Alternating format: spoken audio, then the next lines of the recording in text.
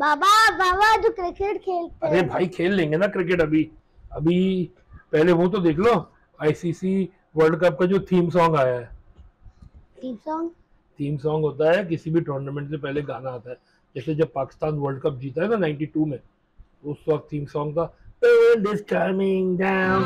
The flags are up. Who's gonna be number one? Who's gonna take out the उसके बाद अ, 2003 में world cup का theme song था वो गाना है ना?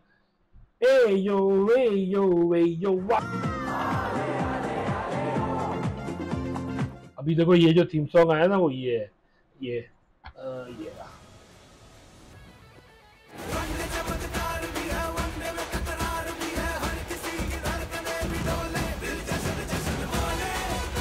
बाबा ये आदमी कौन है? ये आदमी ये क्रिकेट की फ़िल्म में भी आया है। इंडियन एक्टर बताओ। कौन सी फ़िल्म? एटी।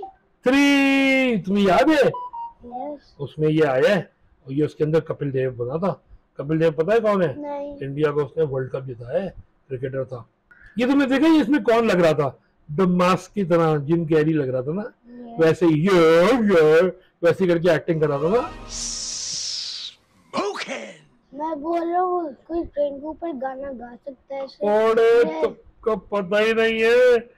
ट्रेन के ऊपर तो गाया था शाहरुख खान ने चल छैया छैया छैया छैया चल छैया छैया छैया छैया चल छैया छैया छैया छैया चल छैया छैया छैया ट्रेन के ऊपर गाया था बहुत पहले ओ real shoot real shoot train के ऊपर और पता है जो शाहरुख खान वाला प्रोमो नहीं आया था आईसीसी वर्ल्ड कप का उसमें कौन नहीं था? बाबा आज़म हाँ इस गाने में डाल दिया हमने बाबर आज़म को।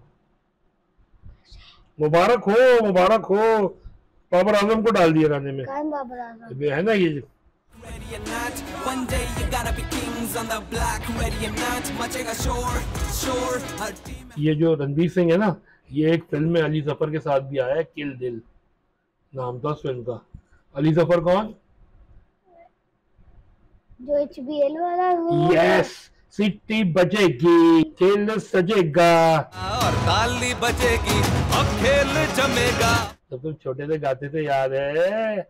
डांस भी करते थे अभी दिखा देते।